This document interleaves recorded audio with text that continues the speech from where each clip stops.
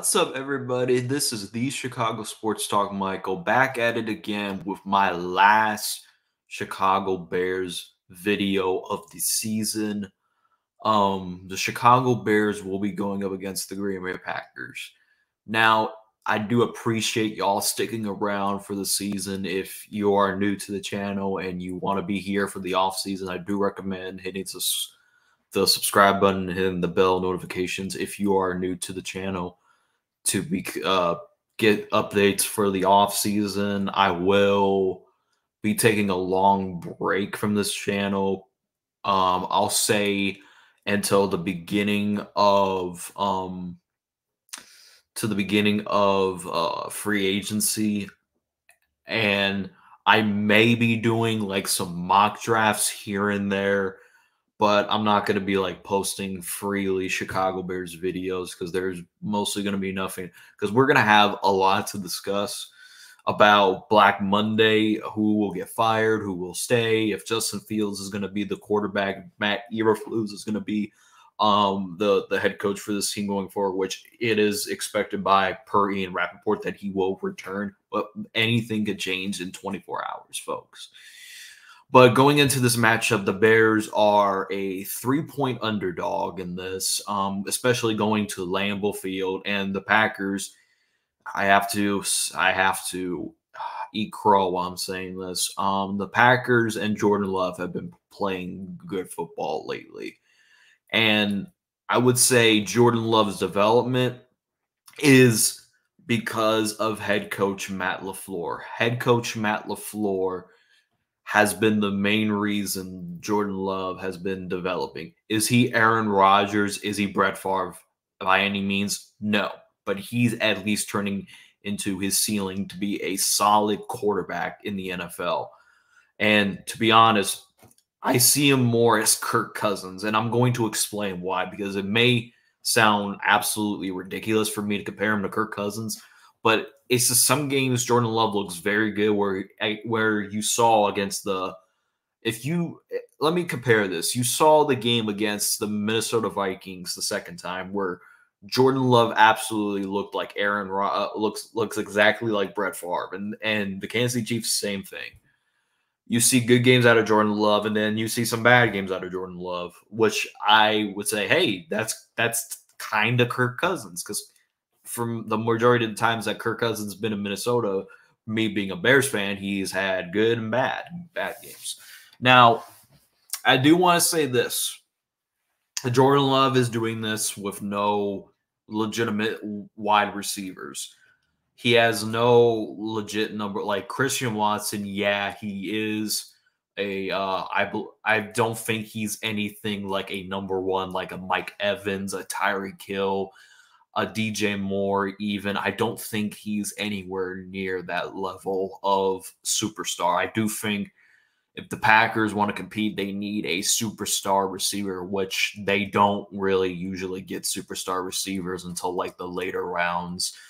So this matchup is going to be uh pretty difficult for the Chicago Bears, especially because the simple fact that they have, and I repeat, have not beaten the Packers in Lambeau Field since 2015 during Brett Favre's uh, retirement jer- jersey uh, ceremony.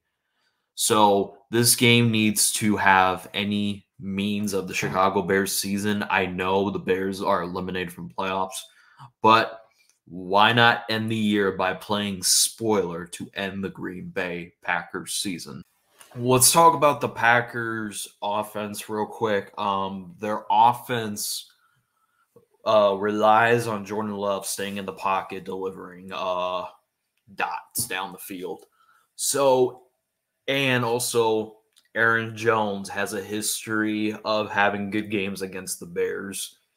So, and the Bears' run defense from week one from now is the Bears have an elite run defense. So if you are the Chicago Bears, the key thing is pressure Jordan Love and make Jordan Love beat you on his own instead of beating you by what Matt LaFleur is designing him. And if you remember the week one matchup when the Chicago Bears were playing the Green Bay Packers, um, we had no pressure whatsoever on Jordan Love. He only got sacked, I believe, one or two times. This, and we cannot allow Jordan Love to have any time in that pocket to breathe. So if you are Matt Eberflus and you want to solidify keeping your job next year, it is to develop pressure on Jordan Love and make him beat you on his own. And trust me, I'd rather have Jordan Love beat me on his own than Jordan Love beating you on uh, Matt LaFleur's designs.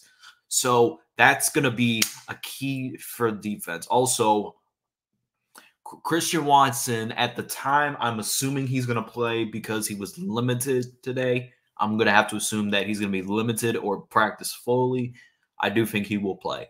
So the key thing is to contain Christian Watson by any means. If he even catches the ball, he'll sprint and try to take that crap to the house and you have to lock him down by any means necessary. If Romeo Doubs beats me, so be it. If Jalen Reed beats me, so be it. I'm not letting Christian Watson beat me by any means. And their offensive line, um, this is the reason why I say pressure is because they did lose their starting left tackle, David Bakhtiari, for the season.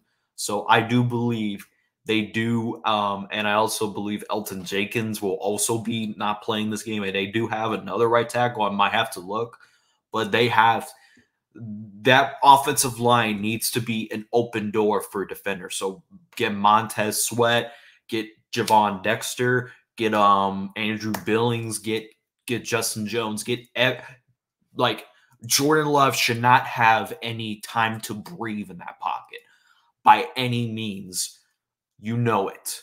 And also talk about the Packers defense. The Packers defense, um, again, I believe I've been telling Packers fans for for the past, I'm going to keep pounding it until you get rid of them. Joe Barry has been the reason why this defense, uh, the Packers defense, you could absolutely torch in many ways possible. You could torch them by in the air or you can torch them by running the football. Now, what would I do? Since it's cold, it's going to be a coldy day in Green Bay. And guess what we're going to do? We're pound the football down their throats. And with uh, D'Onta Foreman, I don't think he's going to. I don't know if he's going to be playing, but if he doesn't, you got you got Khalil Herbert, you got Roschon, and you can use Justin Fields on with the running uh, his running ability. So if you are Luke Getsy and you want to increase your chances of staying here, even though it's very slim and you're on a thin leash, you have to do a good game plan to Justin Fields' strengths that game and have him have a good run game. Also, target DJ more often.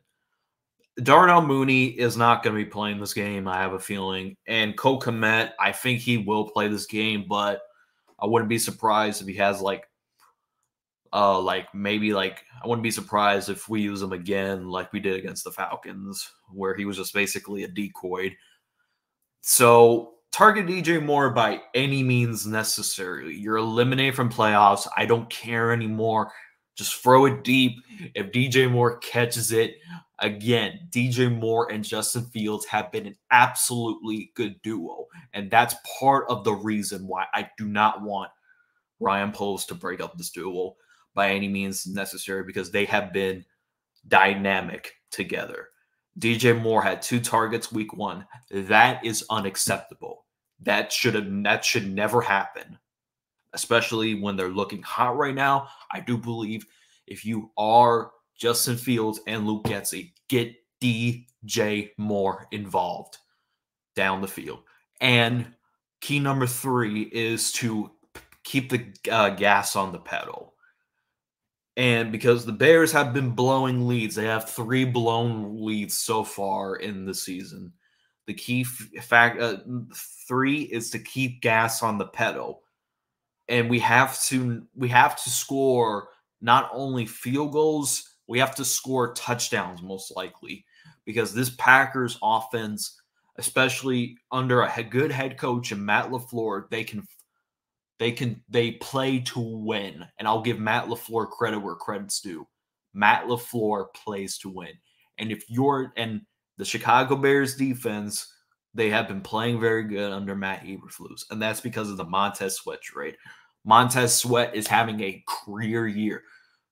So I do believe, in my humble opinion, heart, that the Bears defense needs to have needs to play better than they did week one because week one was very unacceptable because that whole defense is is a complete different de- defense from where they're at right now because the corners are playing a lot better, the edge rushers are playing a lot better, and the secondary is playing a lot better. And in my humble opinion, folks, this game will determine Justin Fields' career, Matt Eberflus's career, and mostly the whole entire team going forward. And the chance to play spoilers to the Green Bay Packers and even Packer fans, even one Packer fan in particular that that I know has said that he um he this is the great this is one of the best Bears teams that the Packers have ever faced. So and Joe Barry, like I said, you can attack him anyway. Yes, he did have a good game against the Vikings, but that was against Jaren Hall, and they should have started Joshua Dobbs. But Bryce Young, and let me tell you this: Bryce Young, Tommy DeVito, and Baker Mayfield literally lit up Joe Barry's defense if those guys can do it, I gear I I can assure you Justin Fields and DJ Moore can do it. So who do I have winning this game? Um this is actually the only time I'm ever going to be very confident in myself.